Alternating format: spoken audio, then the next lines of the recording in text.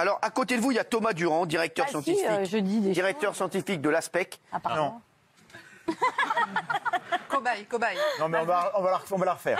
Donc, vous êtes, vous êtes, vous êtes directeur scientifique. De la steak, avec un T. Bonjour tout le monde. Il y a très peu de temps, j'étais sur le plateau de Cyril Hanouna sur Balance ton poste pour un débat, entre guillemets, sur le sujet des médiums, euh, des voyantes. Est-ce qu'on y croit, est-ce qu'on n'y croit pas? J'étais censé faire le sceptique de service, un petit peu le casse-couille de service. Fallait-il y aller, fallait-il pas y aller? C'est la grande question. J'ai vu les très nombreux commentaires que vous avez laissés, les nombreuses réactions. Je suis attentif à ça. Vous êtes une communauté extrêmement rigoureuse, extrêmement exigeante. Euh, on vous doit beaucoup, en fait, nous les, créateurs de contenu, euh, parce que vous êtes attentifs à ce qu'on ne fasse pas de bêtises. Et donc, on vous écoute. Et évidemment, euh, écouter les conseils, les commentaires, tenir compte des avis ne veut pas dire suivre les avis. Et inversement, ne pas suivre un avis ne veut pas dire ne pas en ten- en tenir compte. Donc je tiens à tenir compte de tout ce que vous me dites et, et je veux réagir juste en vous expliquant déjà d'une certaine manière comment ça s'est passé. Vendredi midi, je suis contacté par quelqu'un de la production pour le soir même, pour l'émission euh, donc euh, qui serait en direct. Alors je dis oui après un peu de réflexion parce que l'émission est en direct et que j'estime que dans ces conditions-là, il y a moyen de, de tirer son épingle du jeu. En tout cas, on ne peut pas tricher avec ce que je dis, on ne peut pas couper mes, mes phrases, sauf à me couper la parole, ce qui n'a pas manqué d'arriver d'ailleurs. Est-ce que cette prédiction pouvait s'appliquer à quelqu'un d'entre vous ici? Bon, monsieur Thomas, vous allez vous ridiculiser. C'est l'ambiance. Non, mais il a le droit. Non, mais il a le droit de. Non, mais- de- de- alors, est-ce que vous voyez, est-ce que vous voyez autre chose? Le format me semblait être tentable et je vais vous livrer mon avis après coup, mais a priori, euh, tel était mon avis. Je n'ai pas pensé à demander qui serait invité sur le plateau, ça m'est arrivé plus tard, cette question. Quand j'ai demandé, euh, après avoir accepté, je n'ai pas eu d'informations très précises.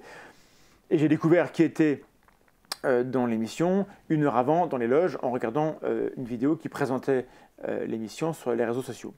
Et évidemment, quand on voit qui est présent, on comprend que le but de la production était d'avoir des gens amusants, rigolos, bizarres, euh, sans doute à ridiculiser. Et en tout cas, ce que je sais, c'est que euh, à leur réunion du vendredi midi, ils se sont dit à la production, ce serait bien qu'on ait une parole sceptique à opposer au, médium, pour ne pas laisser seulement l'animateur et les chroniqueurs euh, en face d'eux, parce que peut-être qu'ils n'auront pas les, bonnes analyses et ils ne pourront pas, mettre en exergue les manipulations. Donc ils ont voulu quelqu'un, et c'est plutôt tout à leur honneur, envie de dire. La politique de la chaise vide, ça peut se concevoir à, certains endroits. J'estime que dans les endroits où on débat en direct, avoir une chaise vide, c'est manquer l'opportunité de faire valoir euh, quelques petites choses. On n'a pas le temps de tout dire, évidemment, et c'est forcément frustrant, mais on peut au moins amener quelques petites choses et contredire lorsqu'une contre-vérité est manifeste. On peut apporter un- un- une contradiction immédiate et les gens la voient. Ils ne vont pas devoir fouiller sur les pages sceptiques, euh, les blogs qui ne sont pas aussi vus que malheureusement C8, etc. Je ne suis pas allé dans cette émission parce que j'aime l'émission, parce que j'aime les chroniqueurs, parce que j'aime l'animateur, ni parce que j'aime me voir à la télé. Il se trouve que grâce à la tronche en biais, mon besoin de validation, parce qu'il existe comme tout le monde, il est relativement serein. Euh, Je me sens bien avec euh, l'audience que, que l'on a. Je n'ai pas un besoin maladif d'aller trouver plus. Donc l'explication, elle n'est pas là. Déjà, être présent sur YouTube, c'est être dans le système. Être présent sur YouTube et participer euh, à cette plateforme, c'est déjà accepter l'idée qu'il faut prendre les gens là où ils sont. Il faut leur parler là où ils vont écouter, là où ils vont regarder. Alors, c'est sur YouTube, mais c'est également vrai à la télévision. Il n'y a pas beaucoup de sceptiques à la télévision. Euh, Il y a une bonne raison à ça. La pensée complexe, euh, venir dire aux gens des choses qu'ils ne veulent pas forcément entendre, qui ne sont pas les choses les plus sympas, c'est pas ça qui est vendeur à la télévision.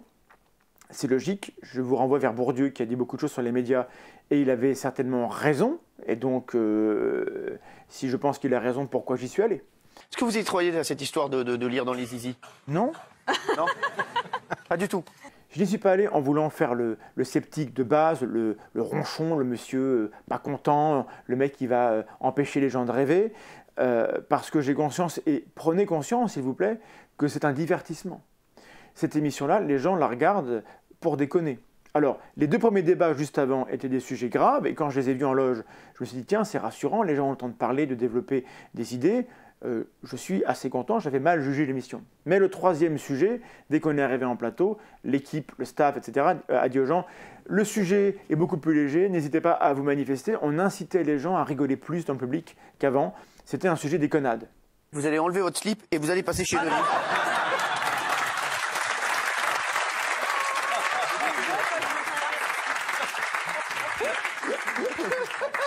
Donc là, j'avais le choix de repartir, hein, euh, carrément, après m'être tapé le train, euh, euh, le taxi, et d'avoir paroté à bouffer des chips dans la loge, ou bien de rester et d'essayer d'être utile. Donc j'ai choisi cette option-là. J'estime qu'il valait mieux y être que de ne pas y aller. Euh, Peut-être que d'autres que moi auraient été plus efficaces euh, dans l'émission, c'est fort possible, sauf que c'est moi qu'on a appelé et que j'ai dit oui. Il fallait pas jouer la politique de la chaise vide, mais il fallait, et j'ai essayé de le faire, montrer d'abord qu'on pouvait euh, parler de, mani- de manière sceptique tout en étant au moins un petit peu fun, que la science c'est pas chiant, qu'on n'est pas là pour, euh, pour emmerder le monde, mais pour montrer que c'est marrant aussi d'avoir un peu l'esprit critique et que la zététique et la science c'est fun. Et puis j'ai essayé, vous l'avez peut-être remarqué, de questionner le dispositif. J'ai essayé de demander à, Cyril Hanouna d'être responsable vis-à-vis des conséquences de la parole qu'il donne aux gens. Alors je l'ai fait en essayant de ne pas être agressif, je l'ai fait en essayant de montrer qu'on pouvait être dans le même camp, parce qu'il ne faut pas se créer des ennemis, même quand euh, on a des gens qui ne marchent pas comme nous. Et je l'ai fait en citant l'exemple de Sylvia Brown, euh, médium américaine extrêmement connue, extrêmement célèbre, euh, qui est morte maintenant, mais qui, avait accepté d'aller euh, se faire tester par James Randi, puis que jamais, euh, en fait, qui n'a jamais euh, passé le, pas. Euh, un exemple qui m'a été conseillé par notre excellent ami Christophe Michel de Hygiène Mentale, et j'en remercie, euh, parce qu'avant d'y aller, j'ai demandé conseil auprès des membres de l'Astec, auprès des, amis qui, créent des, contenus euh, sceptiques sur les réseaux, parce qu'il n'était pas question que j'y aille moi tout seul euh, avec euh, juste euh, ma, bonne, ma bonne humeur et, et ma confiance en moi pour euh, être bon dans l'émission. Je savais que c'était risqué, je savais qu'il fallait se préparer un petit peu et j'ai objectivement pas eu le temps de le faire comme il fallait. hein. Je peux me Allez-y. permettre d'intervenir Moi, je voulais Ouais. dire quelque chose, mais enfin, c'est pas grave. Euh, moi aussi, j'aimerais bien dire des choses. euh, Non, je Vas-y, Denise. Je connais Moi, pas ici, j'ai une enveloppe. Excusez-moi, vous, on vous a reconnu, vous avez fait patron incognito.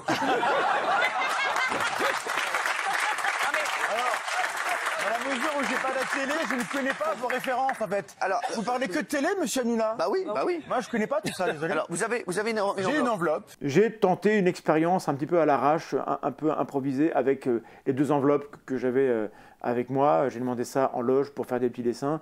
Alors, euh, ce que j'ai fait n'était pas optimal. L'éléphant n'était pas un choix très, très judicieux, il était facilement euh, devinable. La personne qui a dit cheval n'est pas tombée si loin, en fait, finalement. Et euh, elle aurait pu tomber juste et j'aurais été embêté. Je l'ai fait en pensant que j'aurais un peu de temps pour développer. Excusez-moi, mais vous avez quelque chose à vous dire S'il vous plaît. Je ne pensais pas que le rythme serait à ce point euh, euh, ardu, immédiat. Je n'ai pas eu le temps de me présenter en, euh, fait. Euh, Cyril Hanouna me donne la parole 20 secondes, moins de 20 secondes pour dire que je suis le, sceptique de service. On dit que je suis le directeur de la et point, crac. Et j'ai pas le temps de- d'expliquer ce que c'est que la zététique, de dire qu'est-ce que c'est mon travail. On n'a pas le temps de parler de mon bouquin. Bon, bah, ça c'est raté, mais c'est pas de chance. Je pense que les gens n'ont pas pu comprendre ce que je faisais là, quel était mon statut. Ça, c'est une erreur de l'équipe qui présente l'émission. Euh, ils auraient dû au minimum faire ça, quoi, parce que on présente l'historique des gens qui, qui viennent dire qu'ils parlent avec les morts, on ne dit pas qui je suis, donc euh, les gens ne peuvent pas comprendre qui est ce type qui vient critiquer les croyances des autres. Donc, vous avez massé un zizi un jour. C'est bon. À partir de là, qu'est-ce qu'on fait? On s'interroge sur les conséquences de ce qu'on fait. Est-ce que y aller a fait du mal à l'image de la pensée critique, à inciter des gens à croire davantage dans les médiums, à ne pas vouloir être euh, dans le doute Je ne pense pas. Je ne suis pas le mieux à même pour avoir un avis, mais je vous livre le mien parce que c'est moi qui parle. Je pense qu'il valait mieux être là que de ne pas être là. Je pense que mes interventions, les quelques fois où j'ai pu aligner plus de deux phrases, ont été intéressantes. J'ai raté le coche à plein d'occasions. Je n'ai pas, pu développer l'effet Barnum. Je n'ai pas pu répondre vraiment sur Jean-Jacques Charbonnier, sur la vie après la mort. Il se trouve que j'ai bossé sur le sujet avec mon bouquin sur la vie après la mort. Il y a plein d'occasions où le temps a manqué. Et ce qui est dingue, et je ne pense pas qu'on se rende compte à l'extérieur, c'est le rythme. Je suis réputé, et c'est mon défaut, pour couper la parole des gens pendant mes émissions. Croyez-moi que sans ce super pouvoir, qui est un super défaut, j'aurais pas pu en placer deux, en fait, dans l'émission d'Anouna. C'était très compliqué. Il a fallu que je hausse le ton pour accaparer l'attention du public et des, gens autour à plusieurs occasions. Euh, j'aurais peut-être dû le faire plus. C'est difficile d'estimer le temps de parole qu'on a eu par rapport aux autres. Et surtout, j'avais aucune idée du temps total qu'on aurait. On m'avait promis 45 minutes, on ne les a pas eu. D'accord. Et donc c'est comme quand on va écouter un gourou le gourou, il ne manipule pas en nous convainquant, il nous dit les choses qu'on veut entendre. Mais laissez finir deux minutes, laissez poursuivre deux minutes. Moi, je suis pas mort, je suis vivant. Oui, mais... valider au fur et à mesure. Alors, pourquoi malgré tout, je pense qu'il fallait y aller? Pas pour convaincre les voyants qui étaient présents, évidemment. Pas pour les discréditer complètement, on ne peut pas le faire. Et est-ce qu'il faut le faire éthiquement? Ça se discute, ça dépend des cas. Pas pour euh, faire la pub de mes bouquins et de ma chaîne, même si j'ai essayé parce que je pense que ce qu'on fait mérite d'être vu et que bah, sinon je ne le ferai pas. Euh, mais aussi un peu pour exister là, pour devenir un, un référent, j'ai envie de dire, pour que les gens qui vont faire des sujets sur le paranormal ou sur différentes thématiques et qui veulent quelqu'un qui parle d'esprit critique pensent à nous, à moi, dans des contextes où j'aurai le temps. Évidemment, cette émission-là est un échec du point de vue de la pensée critique. Voilà, donc euh, comme je suis guérisseuse et que j'ai besoin, c'est... Mais si maintenant euh, les producteurs ont un sujet avec du temps, euh, où, la parole ne sera pas coupée, euh, où c'est en direct, où on m'assure que j'aurai au moins un peu de temps pour exprimer des idées. Si des producteurs veulent euh, explorer ce sujet-là, ils pensent éventuellement à m'inviter moi ou des copains zététiciens en se disant, en fait, les, gens qui font la zététique ont du répondant, peuvent être présents sur un plateau et être marrants et en même temps avoir du, du fond, si on leur donnait un peu plus de temps de parole. Alors évidemment, ça valide un petit peu le système et je comprends que ceux qui sont contre ça ne veuillent pas ce compromis. Je comprends leur point de vue. Ils ont raison de ne pas le faire s'ils ne veulent pas le faire. Ils ont raison de critiquer ceux qui, selon eux, euh, vont galvauder l'esprit critique, mais ils n'ont pas le droit de nous empêcher de le faire. Et ils n'ont pas le droit d'estimer que seule leur position est valable. Monsieur est scientifique, mais monsieur n'a pas affirmé que ça n'existe pas. Ça, c'est quelque chose. Y a Attendez, j'ai rien dit, madame. Non, mais je parle de vous. Mais... c'est vrai, le pauvre, il n'a rien dit. moi, j'ai envie d'être gentil avec vous, hein, faut pas m'agresser comme ça. Naturellement, je reste encore ouvert à vos critiques pour réviser mon jugement. Ce n'est pas un jugement qui est définitif. Évidemment, les expériences diverses et variées que j'ai ou que j'aurai dans, dans les médias font que je réfléchis profondément à la question. Je n'y vais pas à la fleur au fusil, je n'y vais pas euh, euh, juste pour m'amuser et, me montrer. J'y vais avec le sens du devoir, en fait. En me demandant euh, quelles conséquences ça a, est-ce que c'est utile, est-ce que, mon temps est bien employé? J'ai gagné 0 euros avec cette émission et j'ai regardé les, chiffres, la chaîne n'a pas gagné d'abonnés. Après ce passage à la, télé, elle a gagné moins d'abonnés qu'après un débat avec Sardoche sur Twitch. En termes de conséquences, c'est pas là qu'il faut les chercher. Il faut les chercher éventuellement dans un réseau de professionnels qui vont penser à nous, comme par exemple, on a eu la collab de l'info euh, avec ses vidéos sur la rumeur et la, théorie du complot avec Julien Pain. La vidéo, elle n'est pas parfaite, le projet, il n'est pas parfait, mais ça permet d'être présent. Et vous qui nous suivez connaissez sans doute le principe du, euh, du biais de simple exposition plus on est exposé à quelque chose, plus ça nous paraît familier, plus on a confiance. Il faut que la zététique inspire confiance. Mais il ne faut pas tomber dans ce risque-là, et Richard Monvoisin a parfaitement raison, d'avoir un personnage qui va incarner la zététique et qui, par ses défauts, risque d'entacher la zététique et l'esprit critique. Donc je ne veux pas être le gros de l'esprit critique, je ne veux pas être le seul visage qui ira dans les médias. Et euh, en conclusion, les chances que j'aille dans cette émission sont de 100% vu que c'est passé. Le biais rétrospectif m'incite peut-être à être un petit peu trop complaisant avec mon choix personnel, j'en suis conscient, j'en tiens compte. Fallait-il le faire? Je ne suis pas totalement sûr. Faut-il le refaire dans les mêmes conditions? Je ne suis pas sûr du tout. Ou alors en étant davantage préparé, en prenant la, parole différemment, ou en demandant à ce que le dispositif soit, soit pas le même pour pas qu'on ait de problème. Parce qu'on ne dirait pas comme ça, mais malgré tout, je suis équilibré. Ah, apparemment, ah, c'est votre Post-scriptum. Des gens dans les, dans les commentaires ont beaucoup dit qu'il ne fallait pas y aller lorsqu'on était insceptique face à quatre voyants, ou à quatre médiums, ou à quatre personnes qui, qui, sont dans le, le, paranormal, et je ne suis pas d'accord avec ça.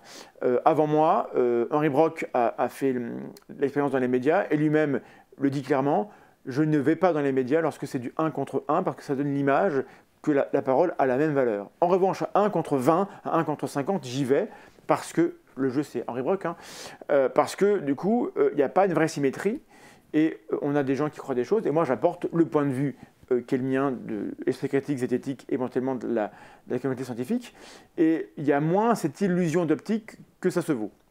Le problème que j'ai eu ici, c'est que j'étais euh, le cinquième sur cinq et que j'avais droit à un cinquième de temps de parole, voire moins. Ah, donc évidemment, euh, euh, il fallait y aller seul contre plusieurs. Je pense que c'est ce qu'il faut faire, mais il faut s'assurer qu'on a un temps de parole qui n'est pas la portion congrue et limitée. Et je fais un post post-scriptum pour dire que parmi les gens qui étaient présents, il y en a un qu'on n'a pas beaucoup entendu parler, c'est Bruno, celui qui parle avec les morts, qui s'est très vite tu et je pense qu'il a eu raison de se taire, comme ça il n'a pas dit de bêtises qui peut être retenu contre lui. Et donc dans la brochette, c'est le plus intelligent du lot. C'est la personne qui est sans doute la plus consciente de ce qu'elle fait. Il a d'ailleurs des méthodes qui sont sans doute des méthodes de mentalisme qui sont parfaitement réfléchies, avec du montage vidéo, avec euh, beaucoup de choses. Je pense donc que, objectivement, si jamais ce qu'il fait n'est pas honnête, c'est le plus dangereux. Les autres étaient ou clairement ridicules, et c'était le but de l'émission, et je pense que c'est un manque de respect envers ceux qui croient à ces choses-là, ou euh, d'une santé mentale discutable. Évidemment, je ne peux pas diagnostiquer les gens, mais je suis inquiet, et quand je vois des gens dont la santé mentale me paraît discutable, j'évite de débattre avec eux, parce que je pense que ça n'est pas euh, éthique. Alors, je touche. Oui, oui, oui, oui. Oui, oui, absolument. Le pari que je fais et que je peux perdre, naturellement, c'est que plus les gens seront exposés au concept de la pensée critique, la charge de la preuve, l'effet Barnum, les, les biais euh, d'attribution, les biais de, confirmation, plus euh, les débats à la maison seront nourris de ces choses-là qui permettent de, déconstruire les, idées reçues. Et je pense que c'est notre travail, c'est le mien en tout cas, de contribuer à ce que ces concepts-là soient connus, soient familiers et deviennent euh, des outils récurrents des discussions qui permettent de ne pas croire n'importe quoi. Et c'est valable pour les médiums, c'est valable pour les autres choses qu'on voit dans les médias sur les pesticides, sur les dangers des ondes euh, de téléphone, sur les dangers de, plein de choses, sur les croyances diverses et variées, sur la pensée religieuse, sur les dérives sectaires et sur les données scientifiques fausses qui sont, voyez, dans les médias. Vous voyez de quoi je veux parler.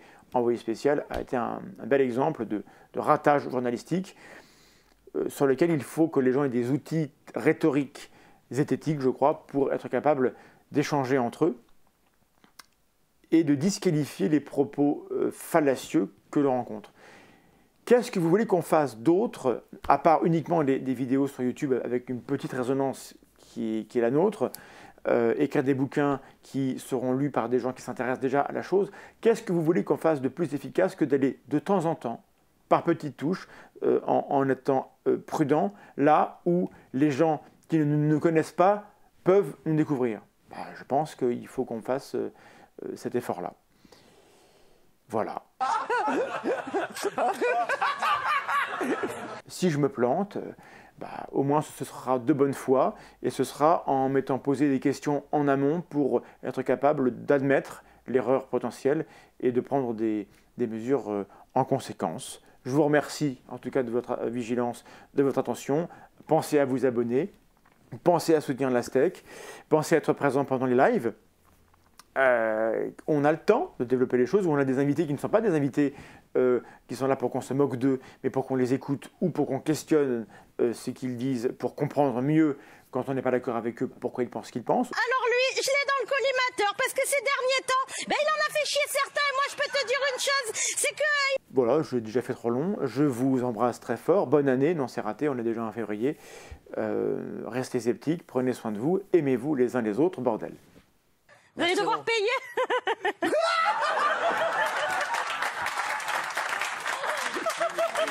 Magnifique.